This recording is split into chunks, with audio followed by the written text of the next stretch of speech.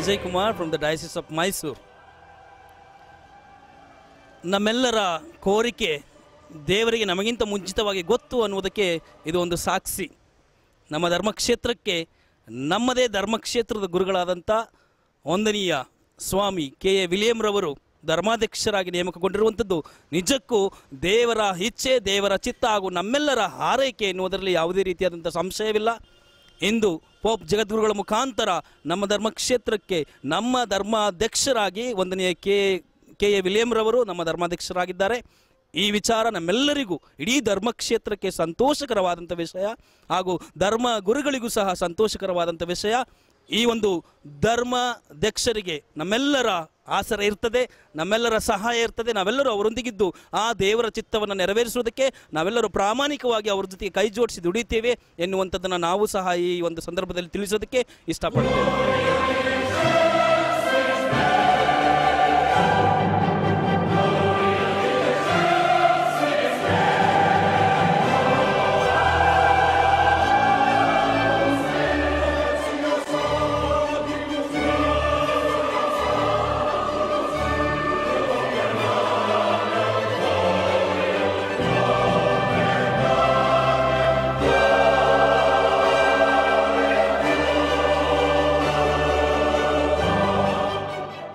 When you heard the appointment of the great honor of becoming a bishop, what was your reaction and how did you receive this great challenge?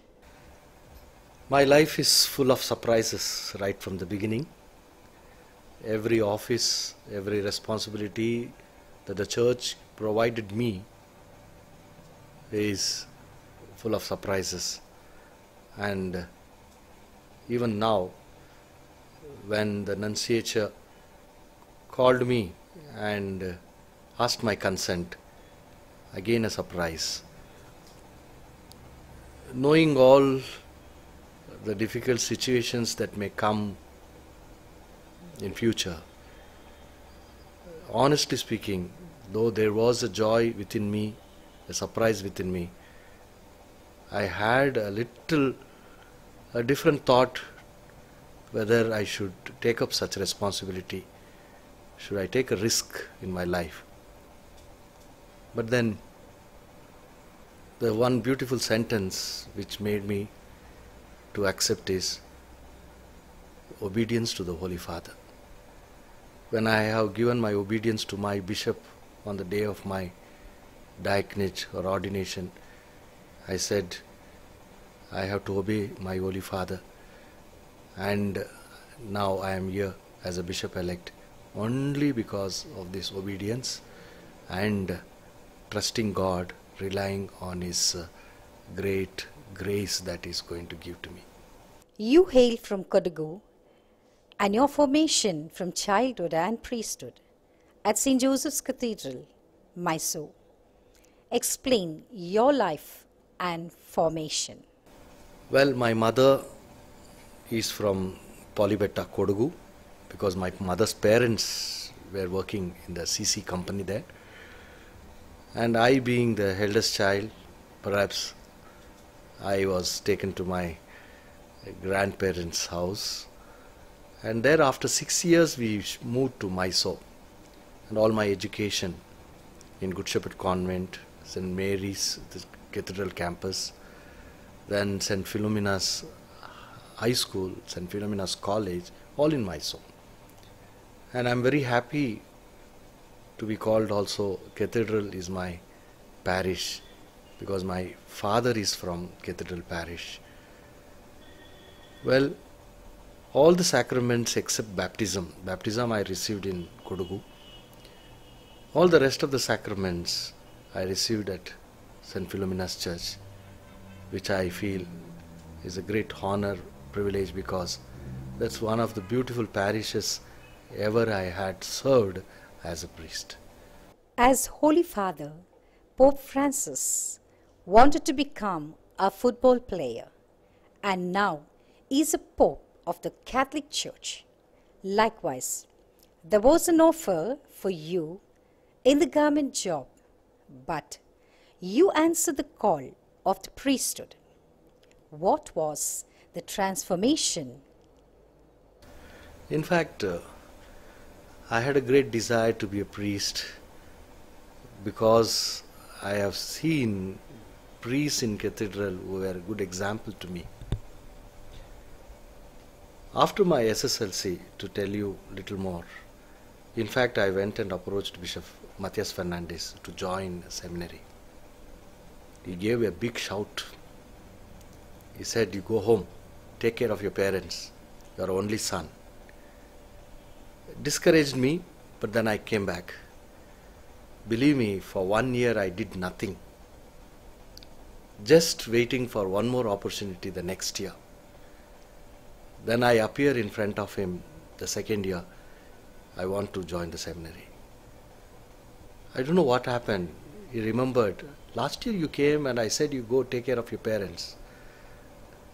But then once again you have come. Perhaps he realized that I have a call within me and he recommended me to the seminary and I joined the seminary. Of course, I had opportunities to enter into other fields, but then I thought somehow within me saying, Let me become a priest for the service of the Lord. Try, trusting Him and handing myself all through my formation. I had a very interesting, enriching experiences. I always remember my spiritual father, the spiritual father who was in St. Peter's, and he was my strength. He was a strength to me to the extent that in every difficulty, in every confusion, used to motivate me. When I finished my philosophy, once again I had something blocking me to go ahead. In fact, I had, I had an attack of pneumonia. But I was wrongly diagnosed in Bangalore. And I was taking the medicine so much so, I became very sick. Very sick to the extent they asked me, You go take rest, and need be, we will call you back. You can continue later. Which means to say that I have to discontinue. At that point of time, I gratefully acknowledge presently Bishop Anandarayar, Archbishop of Pondicherry, he was a vice rector. He was the one who said, You take rest, man, pray to Mother Mary, and she will take care of you. And he was the one who provided little more extra care to me. And rightly, I came for a rest for a month. And here in Mysore, I was diagnosed properly, given proper medicine, and I went back and stood in front of my rector, who said, What a miracle in your life.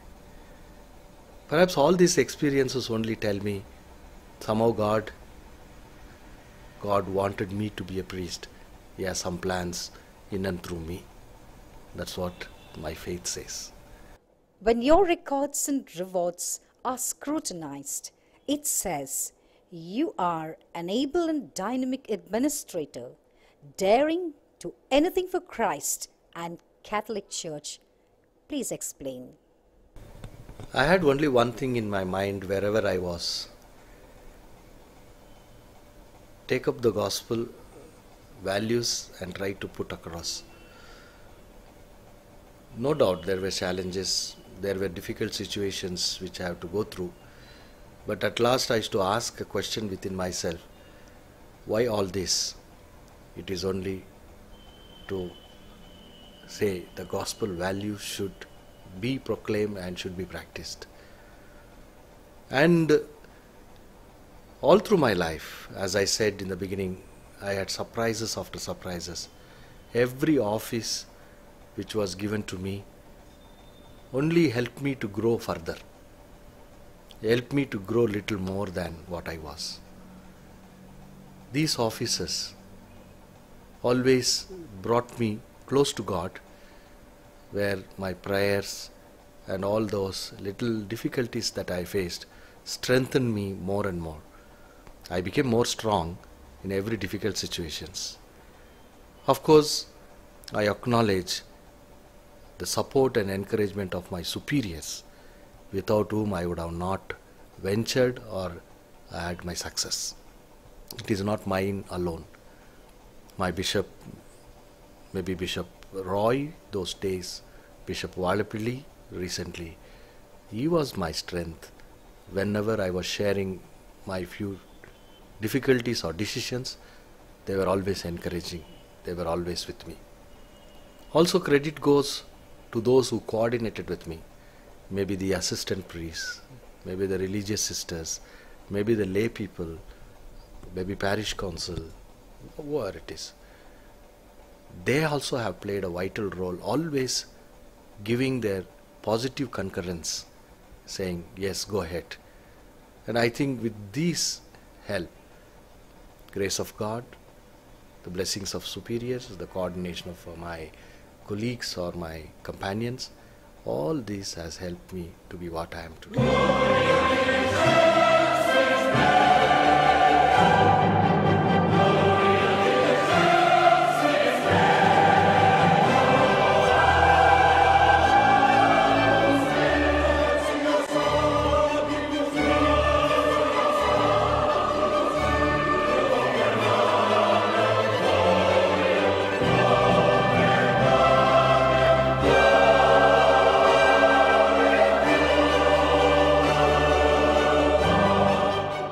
Was not a surprise. In fact, it was a long awaited good news, and we were expecting one of our diocesan priests will be our bishop.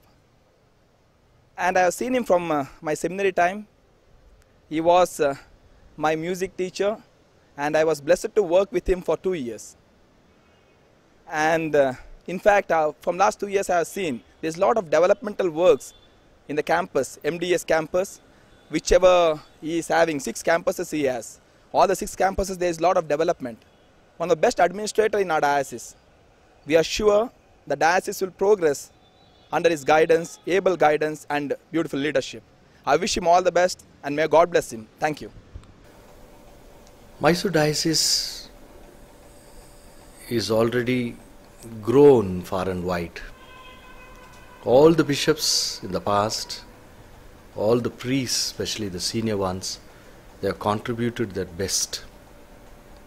If at all we are known for good educational system, if at all Mysore is known for the social works under ODP, or the various commissions that we have in the diocese, it is because of uh, the planning and the implementation by my predecessors and the priests of the diocese who have worked very hard.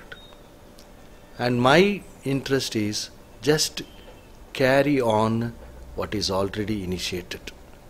I just take further forward.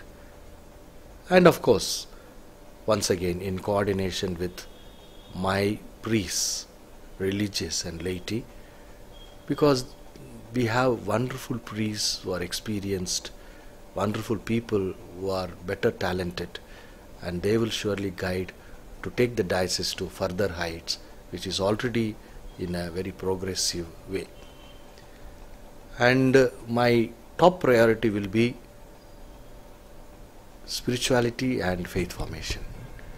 I think when this is given to our people, the rest will come come automatically in their lives. And our families especially need the presence of God. Our families have everything today. They have plenty for themselves. But when there is no God amidst them, I think everything becomes futile. So, spirituality and faith formation, which will help them to sustain uh, in that uh, spirit of God.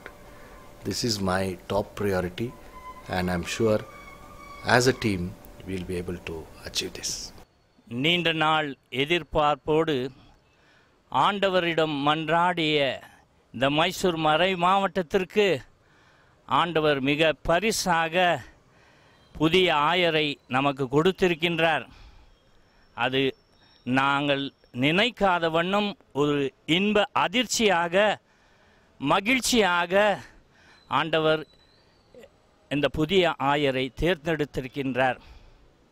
ஆம் இது ஆண்டவர் நம்மோடு இருக்கிறார் என்பதற்கு சான்று பகர இது நடந்து கொண்டிருக்கின்றது.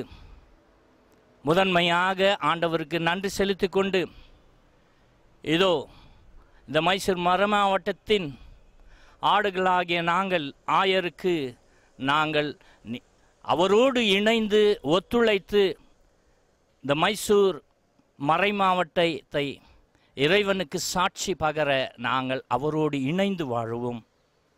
இந்த அற்புதமான இந்த எங்கள் எண்ணங்களை எடுத்துரைக்க இந்த மீடியா வழியாக கிடைத்த இந்த சந்தர்ப்பத்திற்காக ஐபிசி வேர்ல்ட் நியூஸ் சார்பாக அவர்களுக்கு நாங்கள் நன்றி செலுத்துகின்றோம். விசேஷமாக எமது மைசூர் கத்தோலிக்க தமிழ் ட்ரஸ்ட் மூலியமாக அறக்கட்டளையின் மூலமாக நாங்கள் நன்றி செலுத்திக் கொண்டிருக்கின்றோம். இறைவனுக்கு நன்றி.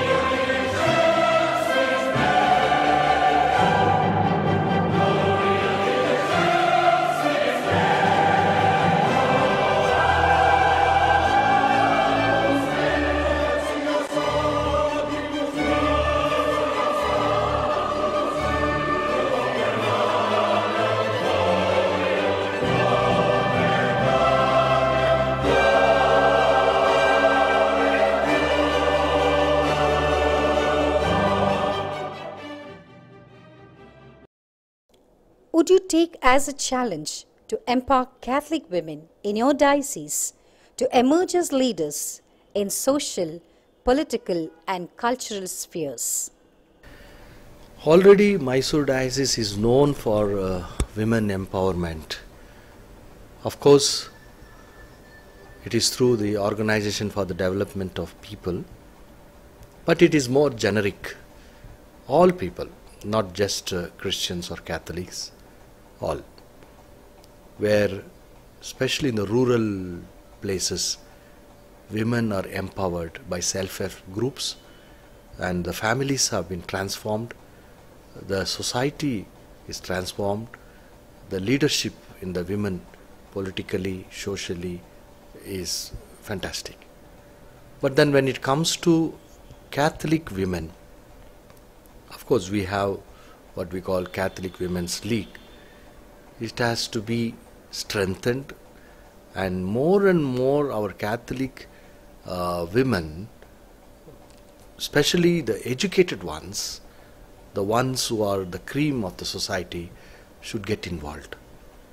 But somehow, sorry to say, in Mysore, what I have noticed is associations like Catholic Women or Vincent de Paul Society, somehow the lay participation is uh, not much.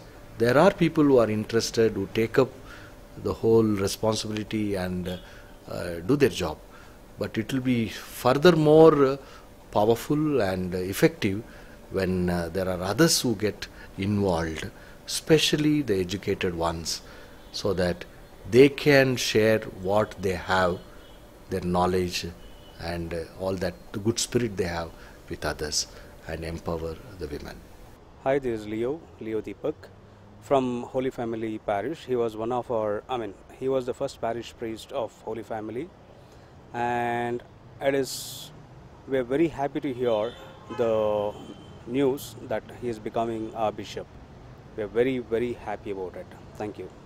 ನಮ್ಮ ಧರ್ಮ ಕೇಂದ್ರದ ದ ಧರ್ಮಾಧ್ಯಕ್ಷರಾಗಿರ್ತಕ್ಕಂಥ ಕೆ ಎ ವಿಲಿಯಮ್ಮರವರು ನಮ್ಮ ಮೆಚ್ಚಿನ ಗುರುಗಳಾಗಿದ್ದರು ಅವರೀಗ ಈ ಡಯಾಸಿಸ್ಗೆ ಧರ್ಮಾಧ್ಯಕ್ಷರಾಗಿ ಆಯ್ಕೆಯಾಗಿದ್ದಾರೆ. ಅದು ನಮಗೆಲ್ಲರಿಗೂ ತುಂಬ ಸಂತೋಷದ ವಿಷಯ.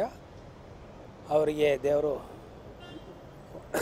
ಆಯುರ ಆರೋಗ್ಯವನ್ನು ಕೊಟ್ಟು ಇನ್ನೂ ಚೆನ್ನಾಗಿ ಕೆಲಸ ಮಾಡಲು ಅವರಿಗೆ ಸಹಾಯವನ್ನು ಮಾಡಲು ನಾವು ಕೇಳ್ಕೊಳ್ತೀವಿ. Your grace how helpful is the Karnataka government to the church the state government of Karnataka is in fact, already supporting the Christians in general.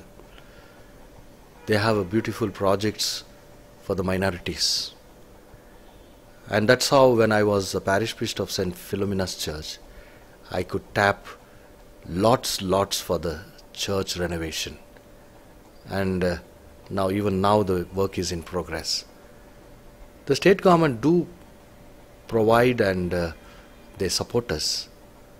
All that we need is to go to the right person with the right project and do the right job. I'm Joyce Lobo. I have been associated with the MDES, that is the Mysore Diocese Educational Society, for the past 32 years. And I've known Father William ever since he's been the parish priest of Holy Family Church Hinkal, since we had our St. Joseph Central School next to the Holy Family Church.